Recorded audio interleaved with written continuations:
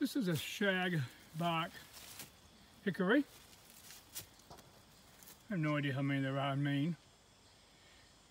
This is this is the only one that I got. Uh, it's a th three stem one.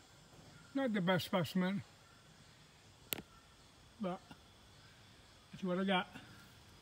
Just trying to get the top of video for you.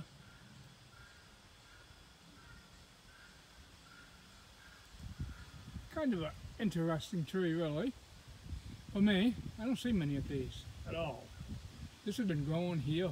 No idea. I don't even know where it even came from. I don't know if somebody planted it or what. You can see how the bark kind of lifts up here. Interesting tree. I like to collect the nuts from it.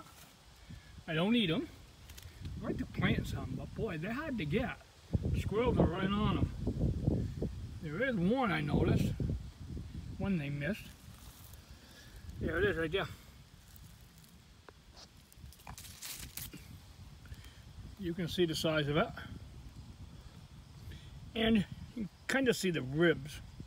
They are the pieces. I don't know what to say. I think there's five. There it is right there. Yeah, there's five. And this will open up when it dries. So there's going to be another video on these opening up. I don't know, I found six or eight this year. Usually that's about all that I find. Boy, the squirrels. I, I came up here once and I saw one squirrel had one in his mouth and he was running. And then I saw another one. And, and he had one in his mouth and he was running. Hard, hard to find. So um, I will uh, have the Latin name in the, the description box. Um, I don't plan on cutting this. I mean, it's been here for years. I'm not going to bother, bother, bother with it again. There's a small one growing right at the base of it. Right there. Don't really look like much, but I hope it survives. There's a few more of them kicking around. I would like to dig them up and replant them someday. I will be showing you how the nuts are drying, how they open up. And I wouldn't mind planting a few of the nuts too and see how they do.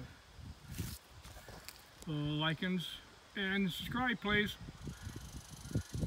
God bless.